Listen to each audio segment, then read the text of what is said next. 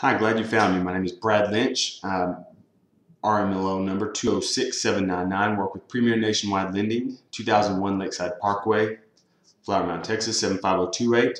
I'm a certified licensed, uh, certified divorce licensed professional through the Divorce Lending Association. I've got 13 years of, of lending experience, and um, I've been doing the divorce specialties uh, for a little over eight years. Um, in this in this post, I want to talk about the um, when you're buying out a spouse in a divorce for the equity in your home, um, why it may be better to use a rate and term owelty refinance versus using your 401k. Um, uh, many, many, times, uh, I think some attorneys may not have, you know, they've probably learned it at some point, but um, they didn't use it enough to be fluid with it. So many times, rather than using this owelty refinance, uh, the path of least resistance is to go in and say, hey, if you have the 401k money, um, you can you can cash part of that out with the penalty, or you can get a loan against it. And um, I think that uh, if uh, if everyone was well versed in, the industry, um, we would see more of the owelty used. Uh, because I use it a lot, and my clients are usually very excited about the fact that they can do that versus their 401k. Um, uh, again, um, the path of least resistance is, is the fact that if you are paying fees to an attorney uh, and, and, and, you're and you're paying an hourly rate that, that is expensive and it's just the way it is in, in, in working in law.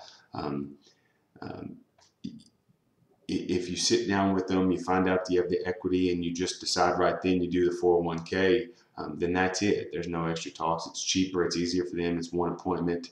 Um, I say one appointment. I'm sure there's more, but uh, you get the point. If you're going to go this owelty uh, refinance route, which is just a just taking your current, uh, whether you have a loan on the property or not, if you don't, you don't, you just refinancing and just paying off the spouse with your mortgage. If if you have a loan on the property, you take the, the first lien, you add the amount that you're supposed to buy out your spouse leaving the house, buy out her portion of equity, add that to that, refinance it, refinance it all together, and you go. Well, the different, the extra variable is qualif qualifying. Um, some attorneys may, to avoid having to charge you uh, extra fees to come back because they know you're trying to save money everything else, they take the path of le least resistance, which is just do the 401k they know, know that they have. But if you uh, if you're going to go the owelty, there's an extra step, and that's making sure that you qualify for a refinance. And you're doing that for two reasons. For yourself, number one, you're going to put in the decree. You want to make sure and pay it off, and you're trying to cut ties and be done so that uh, the divorce is in the in the rearview mirror completely.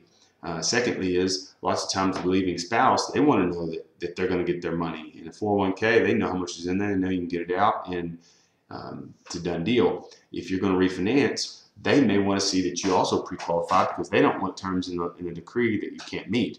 So that can be an extra step. The attorney meets with you, y'all decide how much equity it is, and now you've got to go out and pre-approve. Well, if you contact me first or another lender that uh, specializes in this, and I do it all uh, everywhere in Texas, um, um, you can show up with your attorney and say, hey, I know I pre-qualify for this. This is the idea I want to do.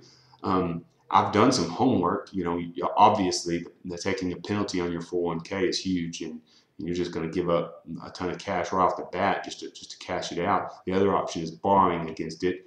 And um, I was looking at uh, a venture uh, investment venture one time and just kind of inquired about uh, using borrowing against my 401k. It seemed like the interest rate was a little over five percent, which right now the uh, mortgage industry, uh, you know, I think rates are lower, quite a bit lower than that. So you get a better uh, a better interest rate, I think. Um, secondly, most for, most 401k loans aren't going to give you a, a 20, 30 year option if you want the lower payment. So if you if you you know borrow against your 401k, which is probably going to be um, debited out of your monthly um, pay stubs uh, every day, uh, every month, um, your payment's probably going to be higher because it may be a 5, 10, or 15 year note, whereas on your mortgage you can extend it out and if you want to pay it off early, you can, but you also have that option of a lower payment. Um, in the end, um, I don't know about you, but I've always been taught don't touch my savings, don't touch my 401k. Um, you kind of become callous to it. You know, you, you can go 10 years, 20 years uh, not touching that. And the one time that you touch it, um, you kind of brought down your guard a little bit. The next time that you have something come up, uh, you know, you may be more willing to touch it again. And that's supposed to be an, an egg that you have set off um, for when you retire. So I, I'm not I'm not for using the 401k to pay that off if you don't have to. I think that would be Plan B.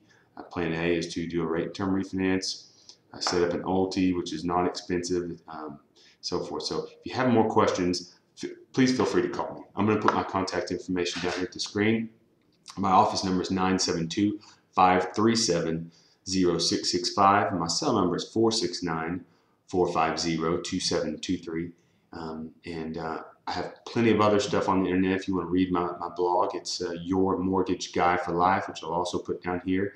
Uh, if you go sc scroll down to the bottom of that site, there's a search uh, search engine specifically to my site that you can search uh, owelty refinance or divorce mortgage, whatever terms you're interested in. I've blogged and posted many times about it so you can get more details. The other option is you can go into my channel here in YouTube and, and look through those titles and see if there's something else that you want to learn about this process because uh, this is specifically about 401k versus the loan to buy out the, uh, the leaving spouse. I've got all kinds of details about the actual type of loan, uh, how, how you go about the process, writing the decree and everything else. So go look through those. And um, it would help my business if you share it. If you think this is a helpful uh, video, please share it.